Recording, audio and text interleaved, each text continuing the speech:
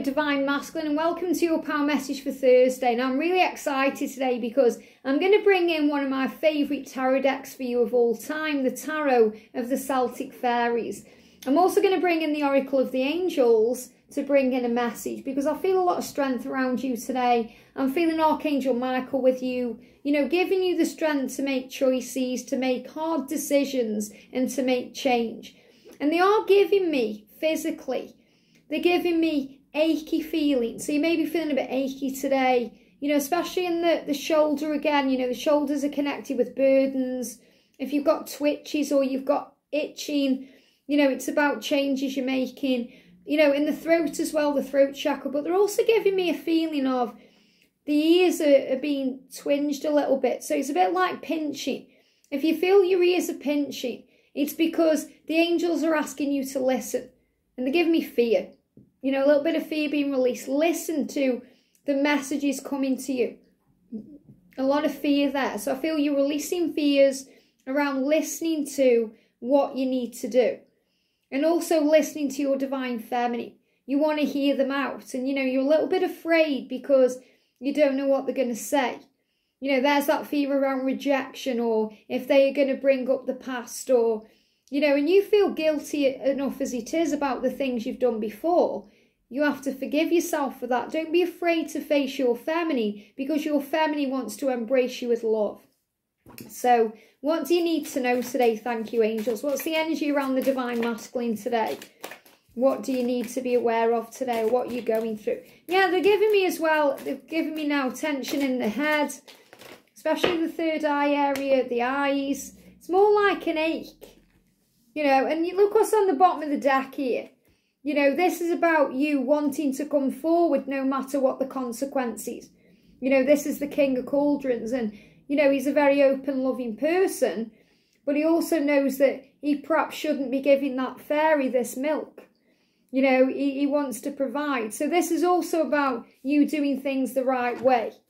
Okay? And it's the love, you know, the love that you feel for your family. You're gaining power back right now. So let's see what you need to know. So the first one we've got is fulfillment. So you know that your feminine gives you fulfillment. And you know that the road to fulfillment has been offered to you in a physical way.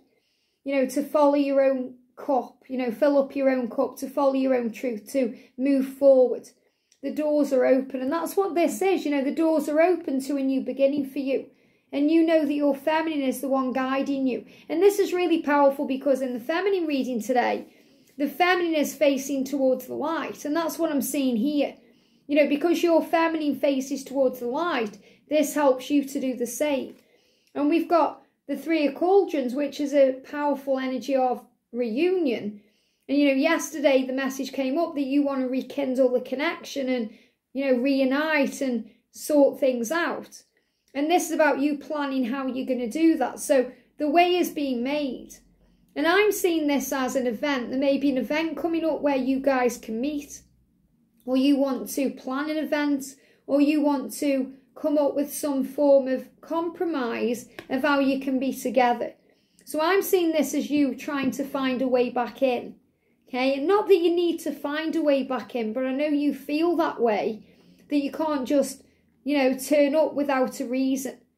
You know, and the reason may be an apology, maybe that you want to talk or, you know, you want to tell them some good news or you want to, you know, tell them something about the past or you want to talk about the future. But this is definitely about you wanting to move forward in a powerful new way. And, you know, the energy as well here, what we've got is the, the grape energy. It's about maybe doing this in a way where you have access to alcohol, or food or you know so in other words you may take them out somewhere or you may want to meet up for coffee or you may want to go for a drink. So an environment that's very neutral or you know very peaceful or relaxing. That's what i'm picking up here that you want to bring that type of energy in. And we've got receptivity. So you know you're also saying to your family i'm ready to receive your love. I am open now to receive these blessings I'm open to give to you everything that you give to me. And also, you know, the power of the love that you're getting stronger. So I'm feeling this as your strength and your power and your feminine gives you that. But this is also the way that, you know, you get turned on. You're turned on to this connection right now. You're turned on to this person right now. You know, you're feeling the power of the love and you want to also do it your way. So you know that you need to do it the right way. So even though you want to maybe have a drink, you know, and really what I'm feeling here as well is for some of you masculines, you may drink too much alcohol. You may use it to numb numb things or, you know, to feel better or to take away stress when really it just heightens that. So I feel a lot of you want to release that. You know, you want to give up alcohol or addictions or anything that doesn't serve you. You know, you want to let that go and begin again. And you're being shown the signs to do that. So, as much as you may need a little bit of what they call Dutch courage, which is what they say when you need something, some form of strength given to you, so that you can actually say what you mean or speak your truth, you know that you don't actually need to have that drink at all. You just need to get off your chest what's on your mind.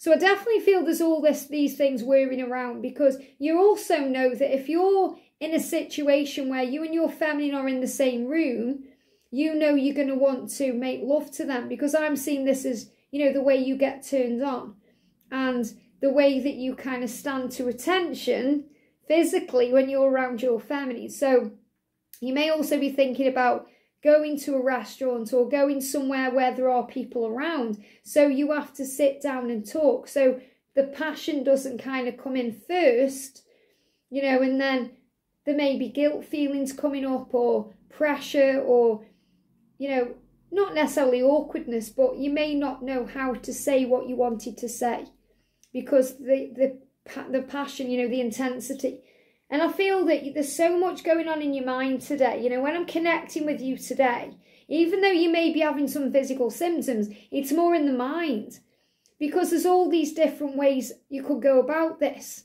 And you're thinking of each one. You're thinking about, well, what if I do it where we go to a restaurant? What if I do it where we go to a bar? Or what if we're at home with a bottle of wine? Or and then I don't really want to have a drink. I want to be sober. I want to do it this way, this way, this way. So there's all these ways that you're planning how you can actually reconnect with your feminine in a powerful way. And, you know, the tower is also the chaos. You know, the things are happening quickly, there's changes, and that everything that's been happening, you've been gathering information about. And, you know, you want to help. You want to help the connection now. You don't want to get in the way of it. You want to help.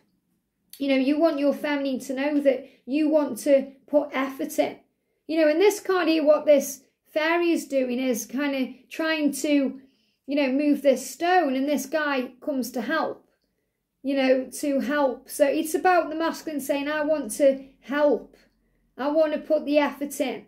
I don't want you to do all of the work. It may seem like that at times, but that's not true. So I feel this is about compromise, coming together to help. You know, not only to help the world, but to help each other out, to be there for each other. This is your masculine saying, All the times when I've hurt you, because I haven't been there for you when you've needed me, whether that's for your help or advice or just to feel heard, I want to make up for that right now, and I'm sorry. I'm sorry I wasn't there for events, events like Christmas time, New Year, Thanksgiving, parties, anniversaries, birthdays. I'm sorry I wasn't there. I want to make up for it. And I feel you're also expressing that you know, maybe during those times you couldn't be there because you were in your own pain. So you may have been drinking alcohol, you may have been socializing, you know, you may have been doing things to try and forget that you had to face this truth. You know, you were doing things to push down your feelings. So I feel there's also an apology there today. And this could be the apology about Valentine's Day. Okay? Because if they weren't around you, Maybe they seem to be busy with other people or having a drink or whatever they were doing. You know, whatever the chaos, it feels like there's been some kind of shock to the system. Whether it's been the masculine themselves or the feminine, there's been something that's happened here that may have created a shock to the system. And, you know, I'm also feeling things like physical things because whenever we go through something in the physical self, you know, it makes us think you know, this could be a health scare, it could be something else. Something happens like we lose someone we love. And it makes us think about the future. You know, things that happen that bring in shock. So I feel that there's a masculine watching here. You may have been through a big shock. So it's either something that's happened within yourself physically, or you may have lost someone you love. And maybe you've been drinking to try and deal with that too, but you don't want to do that anymore. Maybe this has made you quit drinking or quit an addiction. Feels like this this is also what's going on. So I'm picking up a lot in this reading today. So the first thing is, masculines, you know your feminine is your fulfillment. And you want to be open and receptive to the, receiving this fulfillment. You're thinking about how you can move this forward. You know, what type of environment you can spend some time with your twin in. And you know that you want to give no matter what the consequences. You know that you want to try no matter what's happened before. You know you want to express your feelings even if you were still in a situation that you know you need to release yourself from.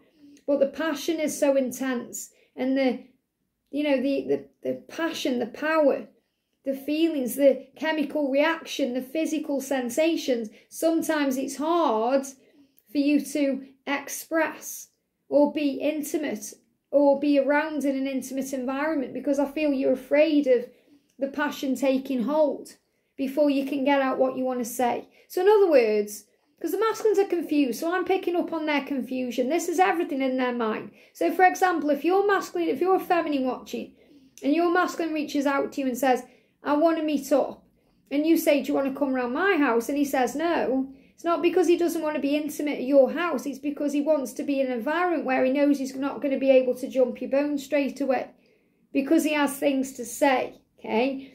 So he feels if he takes you out somewhere, then he's not going to be able to do that. Now, some of the masculines won't want to take you out because they're afraid of being seen if they're in a karmic relationship.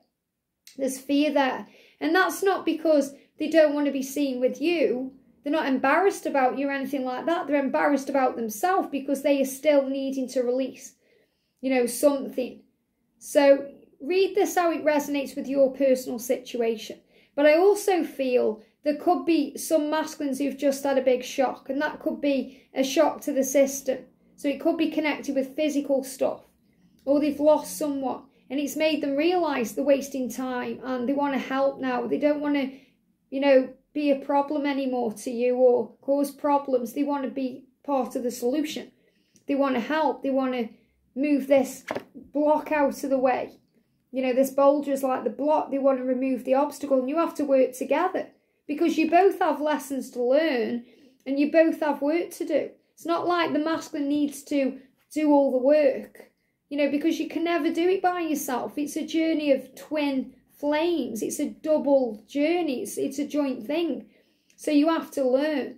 But the masculines don't want to drink alcohol anymore it's just to find the courage to connect with you or they want to release the toxic things. They want to be free of those things.